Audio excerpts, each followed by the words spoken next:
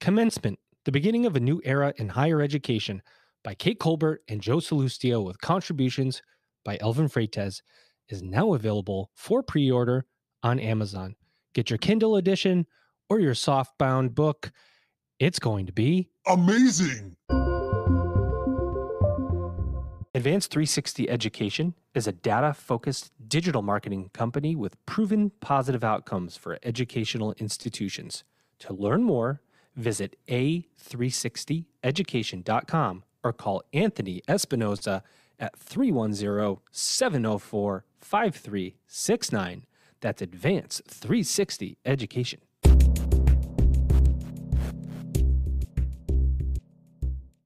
Welcome back, everybody. It's your time to ed up on the EdUp Experience podcast, where we make education your business. Joe Sallustio back with you again. Please remember, ladies and gents, you're going to hear this all the time now since our, our book, Commencement, the beginning of a new era in higher education, just went up on Amazon for pre order. We already hit a hot new release uh, ranking, which we're so excited you can uh, buy a copy on Amazon if you'd be so kind, this is not me begging, but it is me almost begging for you to buy the book.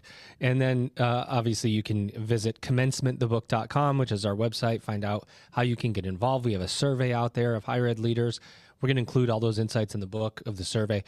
Anyway, we've got a book out. Buy it if you want. Don't buy it if you don't want. Uh, but uh, we're going to put it out anyway, uh, and we're really excited about it.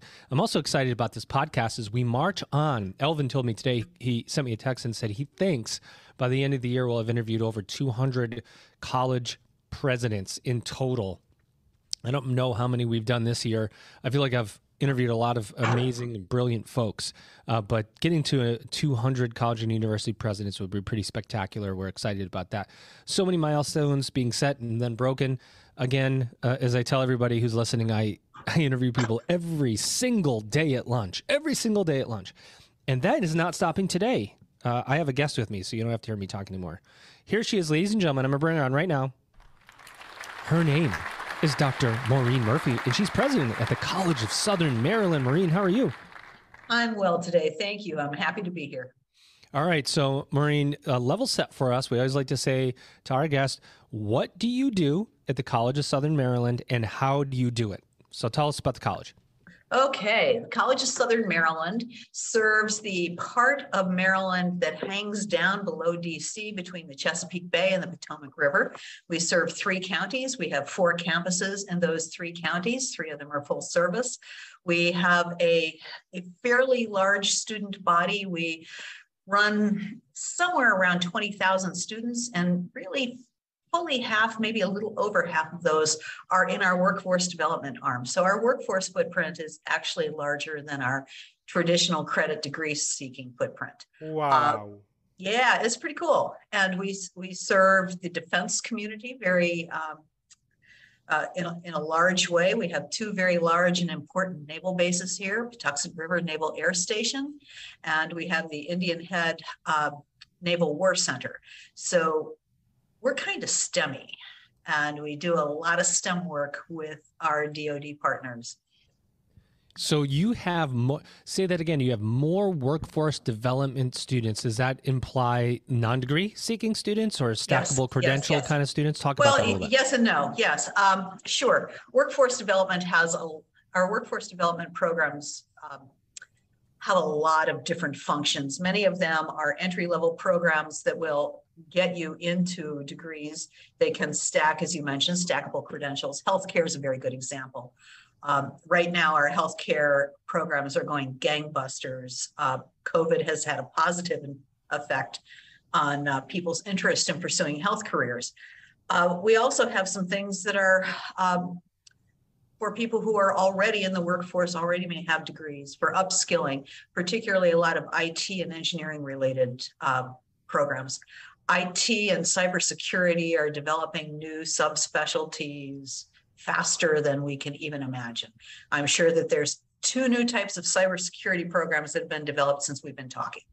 Yeah, I'm sure, right? And it's yeah. and considering the, um, it's funny because uh, higher ed is like one of the most hacked or easy to hack uh, industries in the world, and we're teaching people cybersecurity. It's like this jumbo shit, this oxymoron a little bit, right? Where yeah, it is. So I mean, I, there is uh, there's no shortage of, uh, of attempts to hack higher ed. And, uh, you know, we have a lot of closed circuit networks here just to keep our blooming hackers out of our own systems.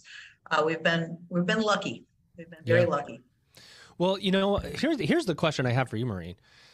You're the president of the College of Southern Maryland, yet there's a presidential search going on at the College of Southern Maryland. How could that be possible? And what's happening in your life? I am retiring. Um, this is, I, I've started my 16th year as a college president and it's, uh, thank you, thank you. Congratulations. Congratulations. How it's- uh, what, what brought you to the the decision that it was time to to hang them up, so to speak, and uh, what, what you know, because I know COVID put a lot of folks uh, to a stress point, and and they got their institutions through all that, and said, you know what, now's a good time for me to exit on a high, right? Or is that Well, what happened? to you? I, I think you've summarized some of it. I think for me personally, um, it's distance from family. It, it, it's time to be closer to family. And um, I, it was never a problem in the before times as long as I could travel. Uh, also, the College of Southern Maryland is in a really good spot right now. I mean, it's it's a great time for somebody else to come in. We, sure, there's a lot of work to do, but there's no giant problems that have to be solved. The the board is terrific. The faculty are awesome. The staff are really supportive, and the issues that we have are those that everybody is having. So it, it's a great time. I, I hope the next. I've got to tell you, I'm very optimistic about the future. I recently attended last April the American Association of Community Colleges annual convention, and I saw incredible younger people who are coming up with the fire in the belly. Mm. And it's time for the old folks like me to step out of the way. Oh, come on. Fire. The, the, there is a lot of fire out there. I've inter- we've interviewed probably sixty. I think I was sixty last time I counted uh, uh, community college presidents, and our overall um, span of 170 or however many. There's some uh, just brilliant people that you're coming across in today's community colleges, but dealing with a tremendous amount of issues. Right, um, declining enrollment is definitely one of the issues. Um, equity in higher education, creating access of higher education. You've got the DEI things going on. There's just a lot to deal with as a college president today, maybe more than there ever has been before. What kind of advice would you, what, what would you tell your younger self? Uh, 16, your younger self, 16 years ago when you started as a college president or where, wherever was your start, what would you tell yourself something you know now that you did, that uh, Well, you didn't know then? Well, first of all, I've got to say it's a different job now from what it was 16 years ago for all the reasons you just mentioned. Yeah.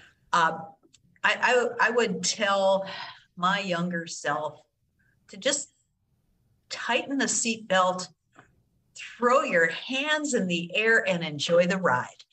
It is a ride. Um, Oh yeah. Oh, yeah. And it is, it's never dull. The work is different every single day. Um, and it's the most rewarding thing that you could possibly do. Our job is to do all those things that you said to support our students, to promote their social and economic mobility, to clear the clutter. That's what presidents do. They clear the clutter so that those things can happen, so that others can do that really powerful work. It's important. Yeah, you you made that's a, a clear the clutter. I love that. Um, but you know, being the job, uh, being in the job of a college president doesn't come without certain um, um, things. see I'm really technical words today. Things uh, that you have to deal with, what you say, how you say it, the stakeholders, the constituencies. Um, you know, I was talking to a president recently at a Big Ten university, and he says, you know, you got to be pre- prepared at any time to walk away from the job if you can't be yourself. If if you have a board or you have um, stakeholders and the community, and you can't be yourself, and you're you're you're faking it till you make it every day, and you're not being yourself, then eventually you're going to drive yourself nuts. And um, uh, you know, I thought that was kind of a profound thing to think about. That you, if you can't be yourself, you can't do the job. Can you talk about that a little bit, Maureen, and how Sure, seen I- it unfold for you? Yeah, I, I think it, I think it's very true. Um, and I think we have those defining moments in our lives. Um, the, the, the president, first of all, is generally somebody who reports to a board. So you get to have multiple bosses. All of those bosses have a political connection. They've either been appointed by somebody who is an elected official or they have run for office themselves. So it's important to understand each one of these board members and what is important to them politically, which may not be the same thing that is important to you as an individual. Um, I think we can be, I think we need to recognize that most people get on boards for community colleges because they believe in the mission and they want to make a difference. Um, so it's it's important to honor that and respect that, even if the way of going about it might be different from what you want.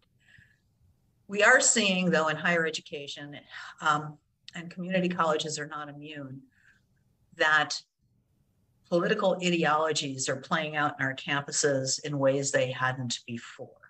Yikes! Exactly. And I think COVID 19 is a very good example of that.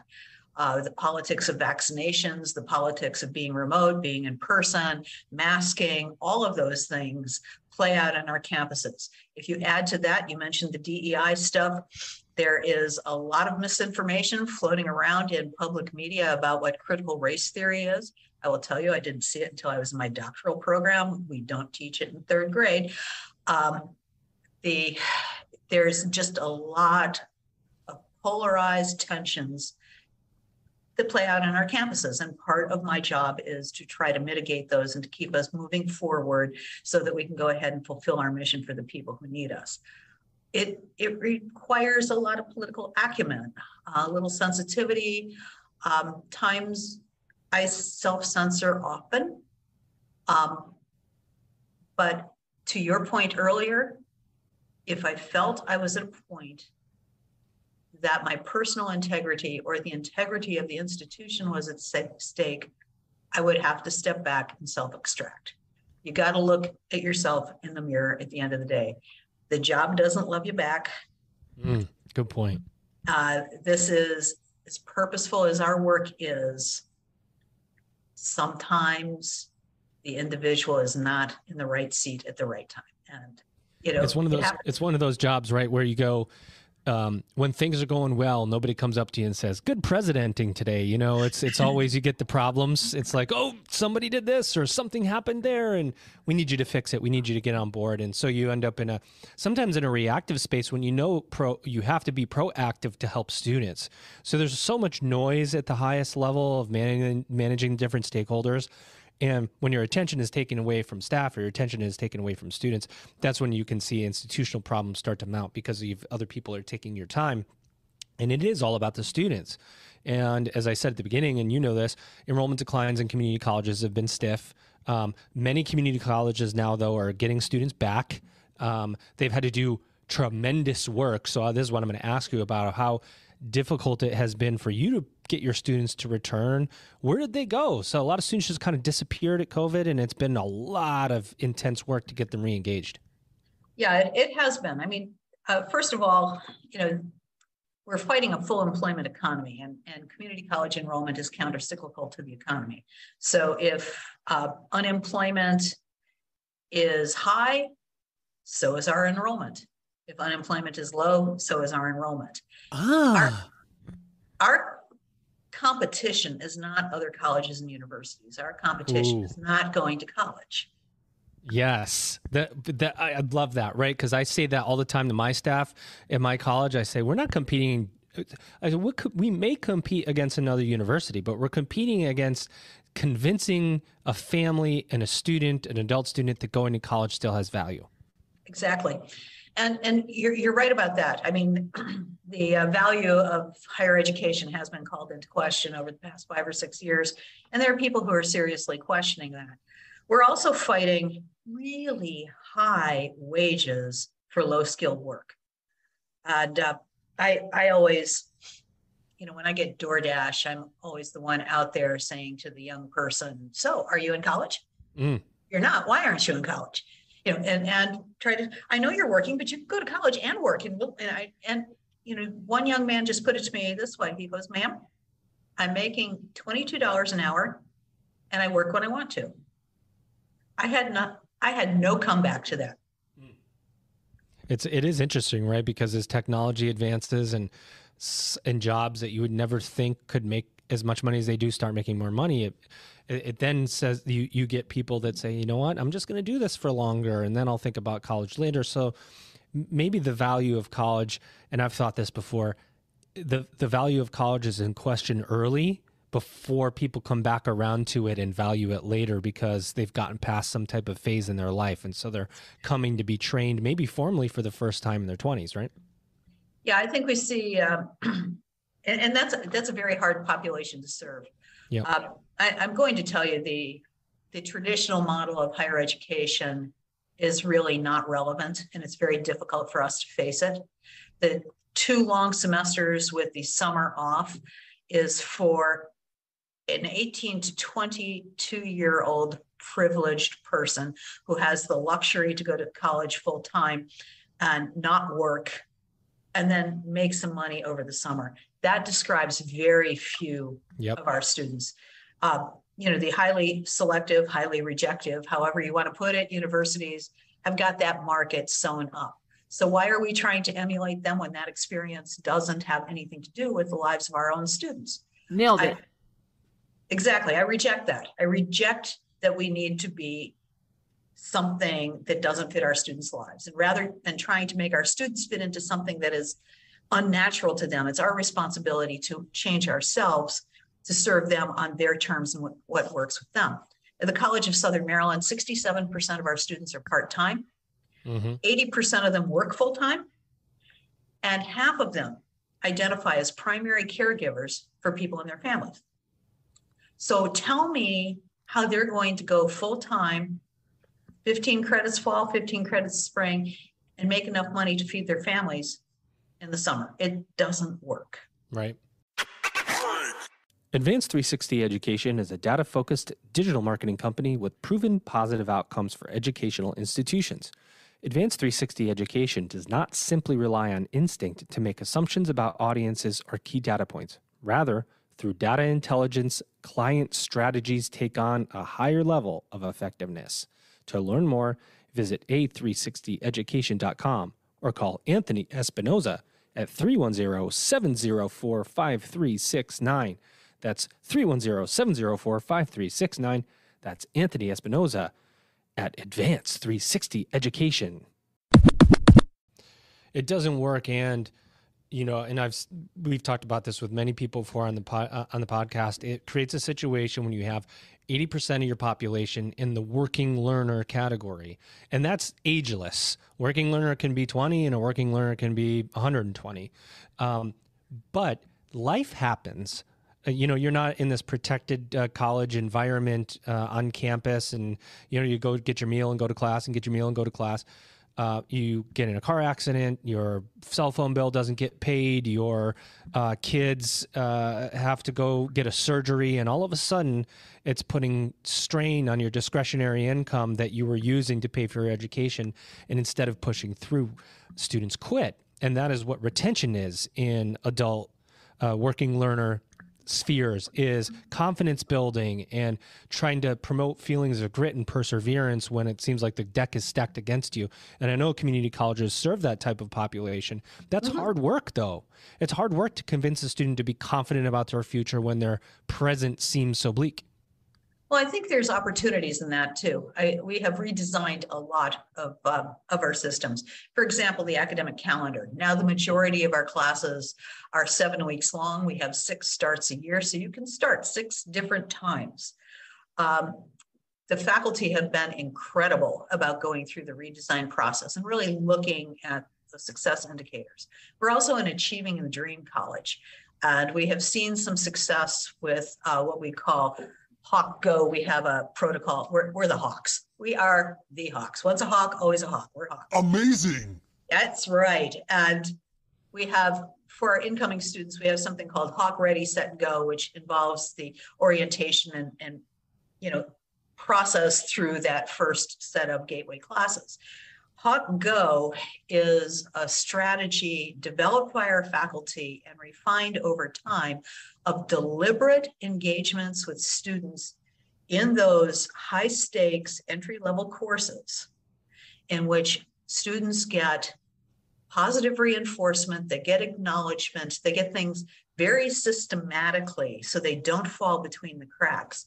And what we've seen in terms of course completion and enrollment in the next course in the sequence after that is just astonishing.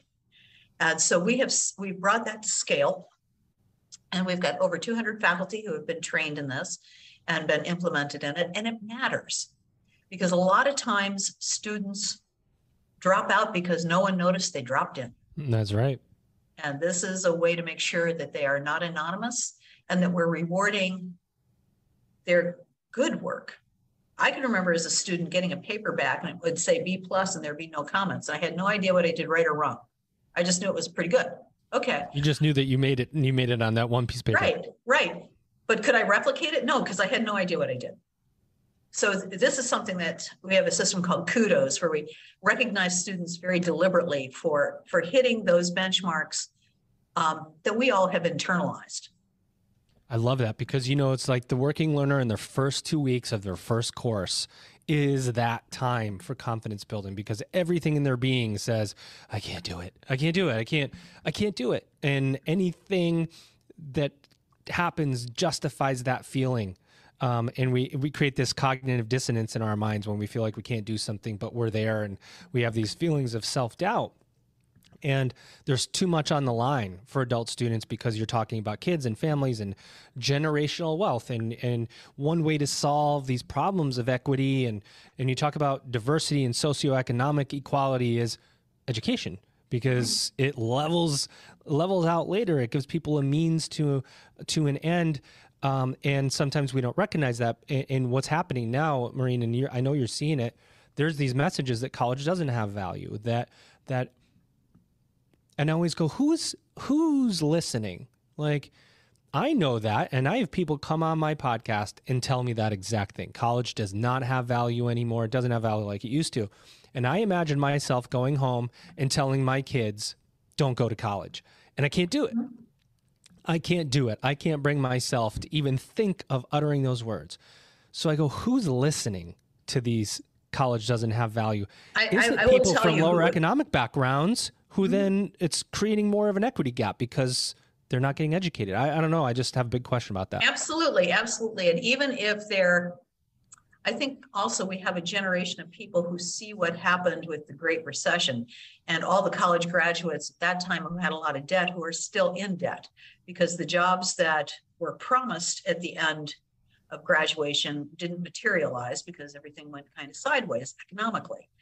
Uh, so if you couple that with a skepticism of the value of it, um, the sort of political rhetoric that is being hurled at uh, colleges and universities for being bastions of brainwashing people. Uh, people who say that, I think, have they ever met somebody who's 20 years old?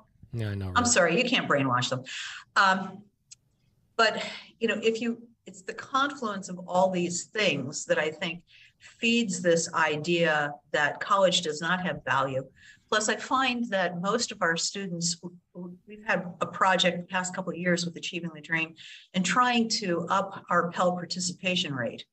The numbers of students who were availing themselves of Pell grants uh, mapped against the socioeconomic status of our communities was, was it, it was out of whack. And what we found was that among the working poor, there was this idea that they wouldn't be entitled to any aid because they were working. And the college is much more expensive than you know most people think it is, particularly community colleges are are much less expensive than people I don't you know even think about.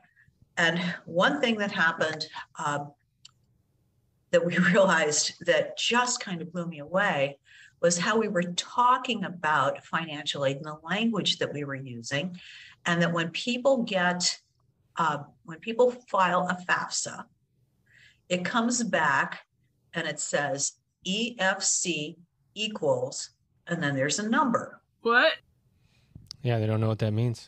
That's right. It means expected family contribution equals, and it's a calculation that this is what we expect your family would be able to contribute to your college education. So we had people who were getting EFC equals zero. All they saw was the zero and thought they got no aid, when actually they got full aid.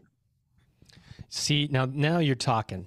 Like this is the stuff this is under the hood stuff. You know, when people talk about we have to change higher ed and the financial model isn't working. Yeah, yeah, yeah, yeah, yeah. But stuff contributes to that. Like there's these baseline things that that are really confusing for students and there's reasons why the financial model isn't working there's reasons why people question the value of higher ed there's reasons why people don't uh, you know go to school and, and you think about something like that how confusing is that that's it's it's confusing for somebody that has no awareness of financial aid Absolutely. I mean, I, I will say the FAFSA has gotten simpler, but it's still not simple enough. I, I honestly think that there should just be a box in your tax return that you check that say you want to be considered for federal financial aid. mm-hmm. Since, you know, fine. Yep. And that information can get kicked over to the Department of Ed. yep it'll never be that unfortunately it'll never be No, I, well, you hope someday it will. Um, so, so you know, you've been in higher ed for like over thirty years. You've been a college president for sixteen, I think. Um, you're you're an outgoing uh, by choice uh, college president because that doesn't always uh, work out that way. It's no, it's it you're sailing into the sunset uh, by your own choice and your own way. Where do you see you? So you've seen higher ed span itself. You've seen the spectrum over the last thirty years. Where is the industry today? Is it as in trouble as everybody says? Is there as many problems as everybody says there are? Are there actual bright spots? Tell tell me what you think. Um, I, I think that we need not to uh, paint higher ed with one broad brush. The various sectors have different concerns. I think the research ones um, are going to be fine. Yep. They're self-sustaining entities. They they've got it down. The regional universities and community colleges are diff have different sets of issues. The small privates are frankly in trouble, uh, particularly those that are tuition dependent. So it, it's what we have is a model that hasn't changed essentially for 200 years. Mm. And it's time to really take a look at it and to value things differently. Um, it's When you say the model hasn't changed, do you mean like degree credit hours and the way we deliver education and the a lot of those things haven't changed, but the financial model really hasn't changed Yeah. either. We tend, you know, we tend to be highly tuition and fee dependent. Or we are, you know, if we're in the public sphere, it's tuition and fees plus whatever those allocations are from whatever agencies. Yeah. And all of that is based on, you know, on things that don't translate into what it takes to do the work. It's based on full-time equivalent enrollment, which always disadvantages community colleges because of our part-time students. Yep. That's that's a really common thing that comes up. You know, when you have 60, 70% of your part-time students and everything's being judged on full-time part-time, you know, first-time freshman full-time students, it's like that's not even but And- who who who eventually looks at that and goes, This doesn't make any sense. You know what I mean? Well, we do, but you know, I don't know, our, our voice is not quite loud enough. Yeah. As I said, the gold standard tends to be, you know, the Ivies and the research ones. But if, if, you take a look at it, if you're Harvard or Yale and you accept three percent of your applicants, you're stacking the deck. Mhm. Of course, they have terrific outcomes. We're open door. We bring, we, we want everyone to come in. And that means we're taking on some folks who have some real challenges in their learning. And we're willing to work with them and meet them where they are so we can take them to where they need to go. And sometimes it takes more than one shot. And that's okay. We're there. That's that's so well said because the infrastructure that you need to do what you said is completely different than an R1 or an Ivy. You don't need to provide that many resources for writing when you're taking somebody on um, who who maybe isn't that doesn't write that well. You have to provide incredible writing infrastructure so that student can literally learn scholarly writing as they move through a program. You have to provide uh, the retention services uh, are more of a dismantling of in a building of um, a dismantling of excuse and building of confidence as much as it is anything else. And when you're at, a prestigious Ivy University, probably not dealing with that as much. Um, you're dealing with a student who gets an offender bender and can't put food on the table with a working learner, and that's probably not the case for somebody paying the money that they are at Harvard or Yale. Probably not. I mean, um, you know, food insecurity is rampant among, you know, all students in higher education, but much more so in community colleges. I mean, we've been um, one of the nice things with the uh, with the funding that we got through uh, through HEERF was we were able to open uh, three full service pantries. We'd had six or seven micro pantries before the pandemic, and now we're we're pretty much in the food business. Um, it's it's a shame, but it is. I mean, it, it's what we do. Um, it people struggle, and that traditional that traditional model, whether it's you know the the academic calendar model or the financial model, doesn't take into account the different kinds of struggles that different learners have. And you know, we we were founded to create access and opportunity for people who didn't have it. And if you really want to level the playing field, we need to have we need to be resourced appropriately without counting noses or in our case partial noses because a whole mm-hmm. our whole students don't count in these formulas. And you know without tying it to something that an r1 is doing there's the funding formulas are really inequitable.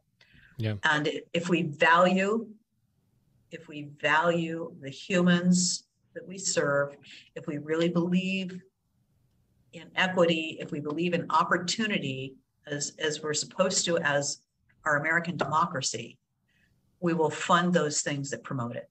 100%. That's crowd. I call that my disruptive agreement, Maureen. That's uh, my disruptive button. Uh, I, uh, you know, I like to end every episode with with the final two questions and give you the platform. Number one, what do you want to say about the College of Southern Maryland that we didn't say yet? Anything else that's coming up, going on, being released, talks you're giving, um, where are you going once you retire, any trips or anything you want to say about yourself or the College of Southern Maryland? And then number two, what do you see as the future of higher education? The College of Southern Maryland is a jewel. It absolutely is a jewel. This is the only place I have worked in which I have seen such passion for the students among everybody here. I, I really feel that this college, as time goes on, is going to figure out how best to serve the students. There's something about geographic isolation that is an advantage because even though we've got a lot of students, we're still a small community and we're sort of contained and insular. 90% of our graduates stay right here. People don't go away. So the value of our college in the community is something that is really known. And I, am just really proud to have had this. Um, my next steps will take me away from here and it will be sad. It, it will be sad, but I, I, will be happy for what comes next. In those. I want you to know I had a sad violin button, but I'm not going to play it because I want Thank you to be happy and sad at the same time. As far as the future of higher education goes, uh, when I left AACC last April, I, I was optimistic. Um, there are some, there are some phenomenal young folks coming up who have the fire in the belly, and they will, they will figure it out. They will do things for the right reasons, and it, it's going to be a whole different world. I think there. I'm optimistic about community colleges because I believe that we will adapt more quickly than other sectors. We're used to it. Um, we're pretty creative. So I have I have a lot of hope that things will go well. I worry. Uh, I worry that with the the wealth gap is pretty wide in our country. We know which side community colleges serve disproportionately, and I I worry that the things that we do to help people close that wealth gap for themselves and their families will not be recognized or funded as robustly as they need to be. Um, the funding model just absolutely needs to change, and people need to think about value very differently. Well, there you have it, ladies and gents. Um, I know one thing for sure, and that's the EdUp experience wishes you, Maureen, an amazing retirement. I hope you get to travel the world and see your family and do all the fun things that you haven't been able to do over the last couple of COVID years. I know people are kind of getting back to doing some fun stuff. So uh, we appreciate you coming on. Did you have a good EdUp experience today? I had a terrific one. Thank you. I enjoyed this a lot, Joe. All right. Well, there she is, ladies and gentlemen. She is the president of the College of Southern Maryland, Dr. Maureen Murphy. You've just ed upped. Effective marketing for educational institutions requires a dedicated partner that understands the complex, constantly evolving digital landscape in which colleges, universities, and career schools compete. The EdUp Experience podcast partner, Advance 360 Education, is a data focused digital marketing company with proven positive outcomes for educational institutions. Advance 360 Education does not simply rely on instinct to make assumptions about audiences or key data points. Through data intelligence, client strategies take on a higher level of effectiveness, whether the goal is driving enrollment, alumni engagement, or other educational marketing campaigns. To learn more, visit a360education.com or call Anthony Espinoza at 310 704 5369. That's Anthony Espinoza, 310 704 5369, a360education.com.